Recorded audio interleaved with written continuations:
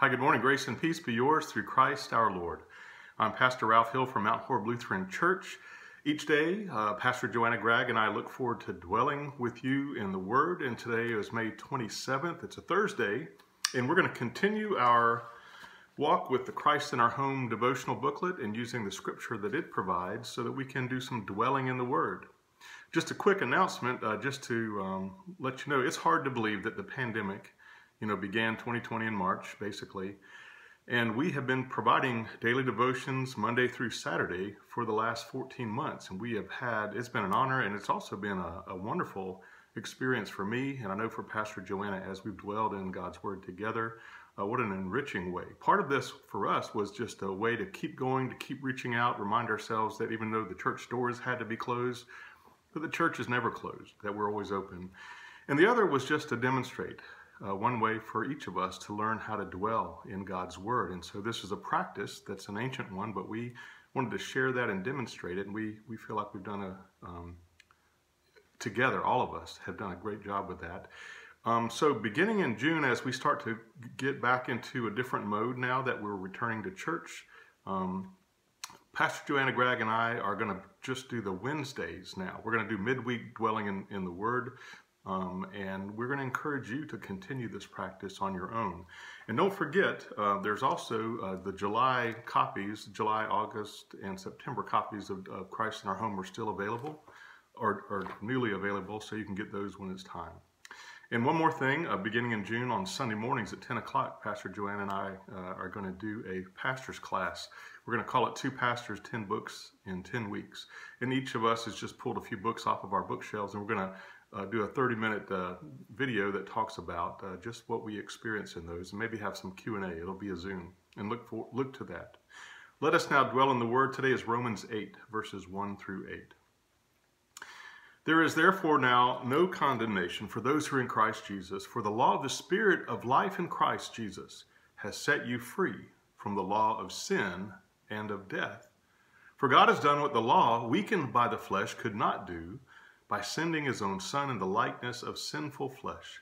And to deal with sin, he condemned sin in the flesh, so that just the just requirement of the law might be fulfilled in us, who walk not according to the flesh, but according to the Spirit. For those who live according to the flesh set their minds on the things of the flesh, but those who live according to the Spirit set their minds on things of the Spirit. To set the mind on the flesh is death but to set the mind on the Spirit is life and peace. For this reason, the mind that is set on the flesh is hostile to God. It does not submit to God's law. Indeed, it cannot. And those who are in the flesh cannot please God. So, as you dwell on this passage, what jumps out at you? What questions might it raise? What nudge might you feel? What verse jumps out at you? For me, this uh, verse 2 jumped out at me. For the law of the Spirit of life in Jesus Christ has set you free. Now, Romans is a wonderful book, and I'd encourage you just to read the whole thing as you go back and look at this. But this passage particularly helps me understand how our life in Christ affects us. It's more um, of an orientation towards life than a disorientation and not knowing direction, than a specific set of rules. Um, it's more of a connection to something that's true think of like a vine and the branches. And so also because I haven't eaten breakfast yet, I was thinking about food and and maybe as a as a way to illustrate this passage. Um, when I was in my teenage years, especially when going through a growth spurt, you know, food was something to consume. Uh, quantity was the key. And my poor my, my poor mother, she had three boys and a girl, all within five years of age. Um, and when we were all going through the teenage years, it was tough. She could cook and go to the store, and I can just remember all the food that we went through. Um, I didn't think twice about eating a whole pizza or several quarter pounders of cheese. I worked at McDonald's. Even had a quarter pounder cheese eating uh, contest once, and I won it. It was five of them. Uh, my, metabol- my metabolism was so high that it would often uh, work off those calories, much to my jealous surprise from the perspective of 40 plus years looking back. I don't think I can do that today. But now I appreciate flavor in food, quality over quantity. Even presentation brings pleasure sometimes. and I'd prefer company over eating alone. Meals have changed. So, this verse, for the law of the Spirit of life in Christ Jesus has set you free. You know, to connect and dwell using today's passage, my teenage view of food was kind of driven by this animalistic need to eat. And, uh, and likely it's because the growing body needed it too. I was feeding my hunger. And yet, my older and wiser, um, and hopefully not too much wider, and more aged view of food is driven now by appreciation and even gratitude. I'm free now to eat better because I know that better will promote health. And I'm now feeding my health. And when I'm feeding my health, I'm freer to do things in my life that I couldn't do if I were not so healthy. And maybe similarly so with faith and being led by the Spirit, it sets us free, not having to spend all of our time worrying about death or the afterlife or if we're worthy. But the Spirit in us is about life. It's about everlasting life that begins in our baptism. And it's about worth, that we work from worth. We work from abundance and not from scarcity. Another illustration, maybe, have you ever been on a trip and been lost? I've done it a couple times, one hiking in the mountains and also just driving.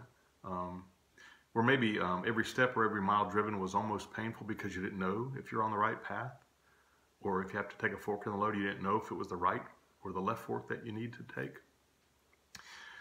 Well, I had this happen uh, when I was uh, when it was early in the use of GPS. You know, it was on our phones and it was okay, but um, phone reception was still a little spotty, and I might lose my signal, especially when I was in the mountains for a while North Carolina. So there's this one time I was in a rural stretch of the mountains of North Carolina. I was on my way to a meeting at, at Luther Rock. Um, I had about 20 more miles to go. It was one of the first times I'd been there in a while, so I didn't know my way. Um, and I was out in the middle of, felt like uh, nowhere. It was kind of a rural part. And I had about 20 miles to go, several more turns that were important to take, and then my cell phone just goes off. It stopped. I was frustrated. I was kind of scared. I was worried about being late for the meeting. And then after a while, I thought, what if I never find my way out of here? And then finally, I realized, oh, I've got a uh, map in my glove box, map box. I don't know what you call it now, but I had a map and I was able to use it. But I was concerned, you know. So, this verse, for the law of the Spirit of life in Christ Jesus has set you free. And so, in connection with today's passage, my state of feeling lost is like living without the Spirit or the GPS. It can be full of angst or worry or uncertainty, but having a sure way to find my way, especially when I'm in a wilderness area or I don't know my directions, it provides confidence and peace and a sense of gratitude. For the law of the Spirit of life in Christ Jesus has set you free. You know, God's Spirit in us is a gift to enable us to grow and mature and to help us live for health and not just focus on our hunger because God provides.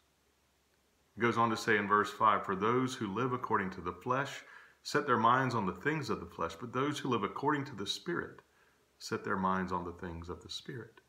To set the mind on the flesh is death, but to set the mind on the Spirit is life and peace. So, God's blessings and peace to you this day as you seek to set your mind on the things of the Spirit.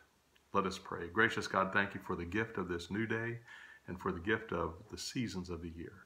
But help us to know that you're with us always in spirit and your spirit is a part of our journey. Amen. Hey, grace and peace.